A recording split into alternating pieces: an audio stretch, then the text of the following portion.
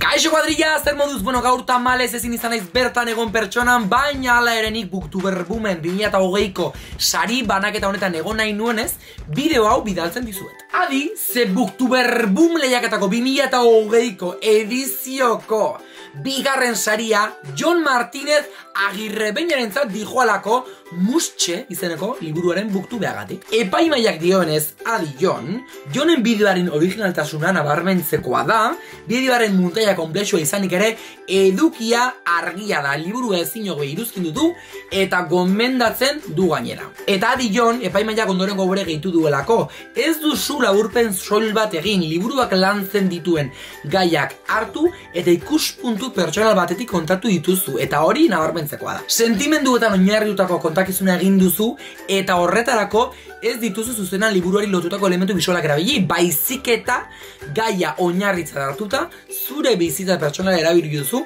horri buruz hitz egiteko. Eta hori da marabila. Kontakizuna egiteko modu interesgarria iruditu zaio epaimaiari eta horregatik buktu errun meliaketako 2008ko edizioko bigarren saria zuretzat. Sari honetan daukazu GoPro kamera bat, eun euroko bono bat eta diploma bat.